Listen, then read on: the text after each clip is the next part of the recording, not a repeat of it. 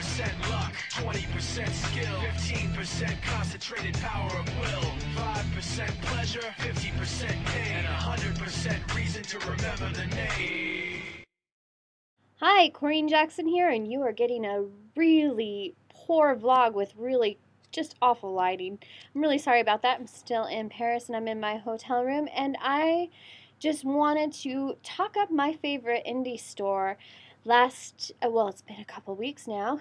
Uh, we had a party at Books Inc at the Opera Plaza in San Francisco. They had a Take That New York party, and there were over 20 YA or middle grade authors, and we just had a really fantastic time with the readers at the bookstore. And people just hung out and had a great time and talked, and there was a book signing, and it was just great fun to get to meet all the other authors and all the fans of those authors.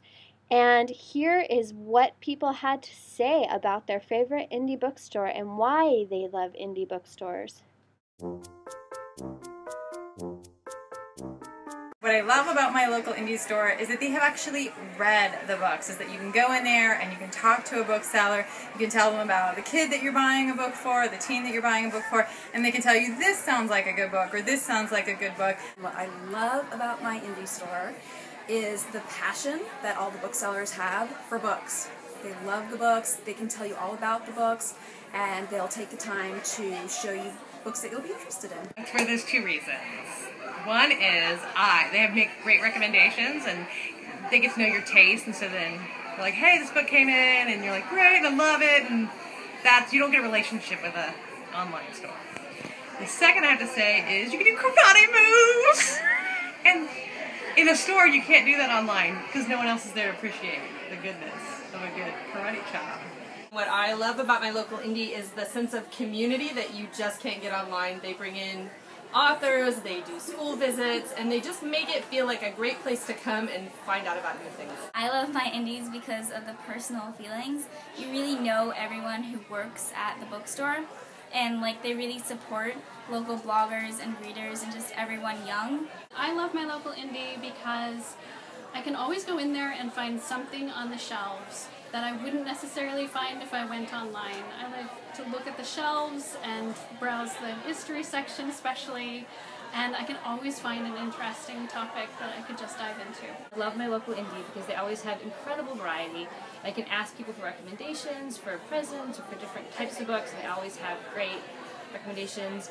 And they also have kind of a community feeling, a children's book hour, Saturday mornings. There are too many things to even begin to list that I love about indie bookstores. But uh, one of the things I love is at my indie bookstore, I can walk in and I, um, the owner knows me by name and he knew me before I was a writer um, and I was just shopping there and he always had a stack of suggestions. He knew what I loved to read and that's the kind of thing that I love about indie bookstores. They, they really care and they take the time to find books that are specific to your reading interests. I love these bookstores because they host a lot of book events, especially Books Inc, where I'm at today.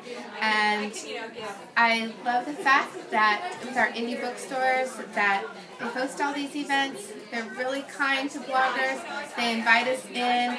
They allow us to come in and host interviews and have contests.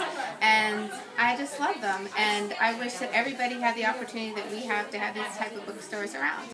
I love working for Books Inc. It was my first job out of college when I was walking up and down Chestnut Street with my resume looking for part-time work. I got hired as the children's specialist in the store and I like immediately fell in love with being a bookseller because it's where you get paid to be a huge nerd and just love books. And I was especially entranced with the children's lit community which is just very kind and very you know supportive of one another and it's a really nice group of people to be a part of. And so I've kind of worked my way up with Books Inc., which has been really exciting for me. And um, being given Not Your Mother's Book Club to run has been just like the most fun ever because we have a super active um, blogger community and a lot of teenagers who regularly come to our events, not to mention educators, and even authors will come out and support each other, which again speaks to that like children's lit being a super nice place. And Books Inc gives us a place to do that because we're an awesome indie chain, if I do say so myself. And we really value our community and the people that we work with. And it's been such a pleasure to do my job because basically I've just gotten to make a lot of friends with really nerdy, really easily excited, awesome people who love books, which is really what I love too. So it's been a great way to just get like high fives for being a huge nerd. Book Club is basically like the brand that we use for all um, young adult author events that we do for Books Inc., which Jennifer Laughran started in 2005 for Books Inc. She's now with Oblong Books, which is another really great indie bookseller in Rhinebeck, New York. And um, for the first time this year, we're kind of taking it in a new direction, and we've created a sister program to Not Your Mother's Book Club, which is called Not Your Mother's Book Fund, which will take 10% off the top of all of our Not Your Mother's Book Club branded events of the featured authors' titles. Um, and all the sales from that event will go into this fund, and we'll use it to buy club sets for low income high schools, public high schools um, that have extracurricular book clubs.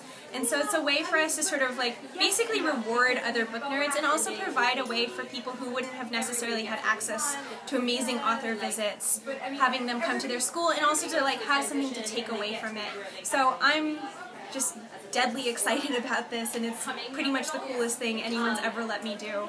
Um, and it's a credit to Books Inc's investment into their community, our community, excuse me. I guess I'm part of that team.